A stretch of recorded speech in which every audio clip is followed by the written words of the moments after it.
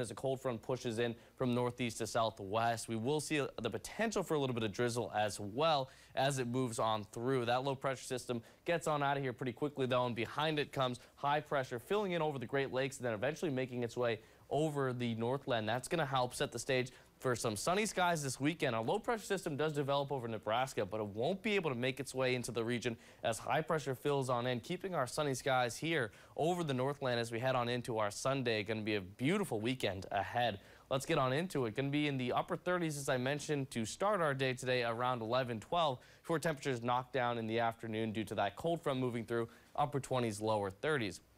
Going into Friday, still going to be a nice day. Like I said, sunshine will be abundant, but we'll have some temperatures in the mid to upper 30s, even some lower 40s across northwestern Wisconsin. Still mild, not quite as mild as it was Wednesday, though. But then by Saturday, we're looking at temperatures making it their way into the lower to mid 40s, even upper 40s possible as you go further south down I-35 towards east central Minnesota and northwestern Wisconsin away from Lake Superior. And then once again on Sunday, potential for those warmer temperatures as we head on into this weekend. Going to be gorgeous. Spring-like feel in the air, going to continue to feel like that, but today could be a little bit dreary. Got some drizzle on the way this afternoon, especially along the North Shore. Then clouds clear on out overnight tonight. As I mentioned, sunny skies in store for Friday, mostly sunny on Saturday to set the stage for an absolutely gorgeous weekend. Today, mostly cloudy skies with that drizzle, upper 30s, even some lower 40s down towards Hinckley and into Aitkin. And then as we go on into the Wisconsin side of things, 40s as you go further south, upper 30s close to Lake Superior, mid 30s into the UP.